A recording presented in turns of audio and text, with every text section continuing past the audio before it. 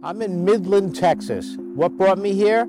Yesterday's annular solar eclipse. One thing about seeing eclipses around the world is you're going around the world and finding these locations. I knew nothing about Midland except that the eclipse was going to be here centrally located.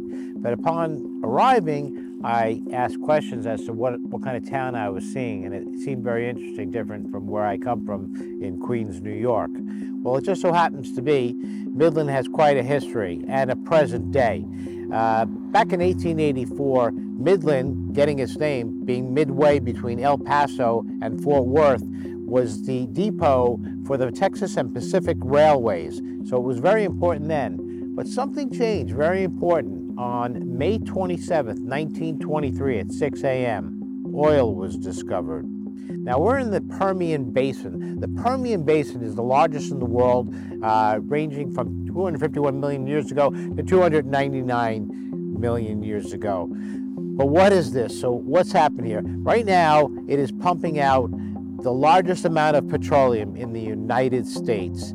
And it's doing so more now than ever since 2019 at 4.2 million barrels a day because there's a great technique that they're using. They're fracking using salt water to push the oil over to the rigs, to the pumps, so they can come out. And this is quite environmentally effective and economically effective to do so with the salt water. So they're able to produce more. So now it is now the top oil producer for all of the U.S. As you can see, all these pumps over here, they're working day in and day out. I don't think I saw such a large collection. But oil is found from this area all the way down to Louisiana along the coast.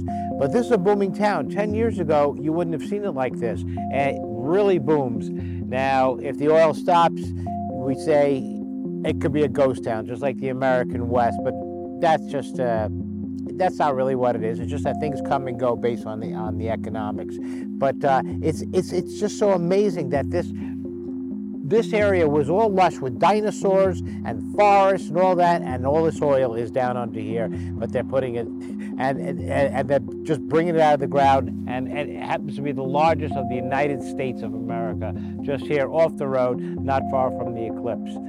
And uh, uh, for me, as a New Yorker, I don't get to see these things, so uh, I find it quite interesting to uh, to report this whenever I get a chance to to travel.